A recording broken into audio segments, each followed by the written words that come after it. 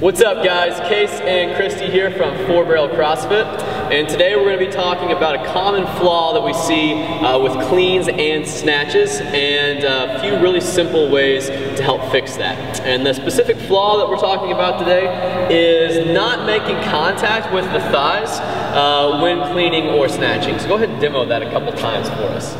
So the common flaw that we see is the bar starts away from the body and it never comes into the body and never makes contact with the leg on the way up. So really simple way to fix that first is simply training the motion and training the feeling of having the barbell on the thigh. And the way we're gonna do that is from the top down, working with uh, above knee cleans or snatches.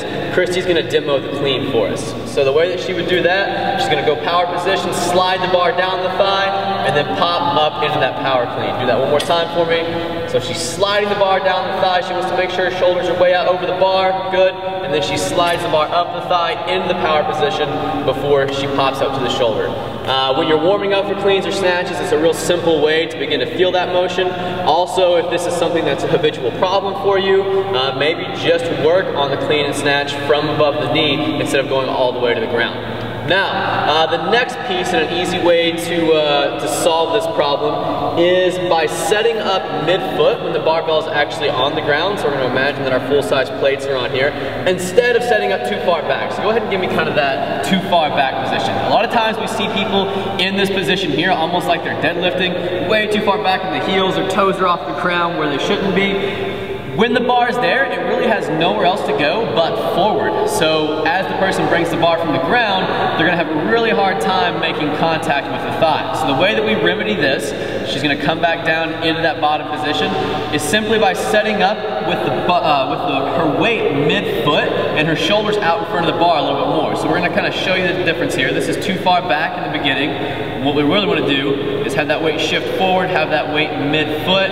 You can even leave a little gap between the bar and your shin, and then as she pulls, go slow for me, that bar begins to drift back, and then it starts to make contact on the thigh, and then she can go right up into that power clean. Let's do that one more time. Let's go full speed this time. So she's out over the bar, she sweeps the bar back, she makes good contact on the thigh. Last piece, uh, we typically see people when not making contact with the thigh, pulling too, too fast from the ground. So the way that we can fix that is simply by slowing that down a little bit. So when we get in that setup position, we want to go nice and slow until the barbell is just above the knee. Then once you feel contact, that's your cue to go fast. So let's do that one more time. She's gonna go nice and slow until the bar is just above the knee, then quick up into that catch position.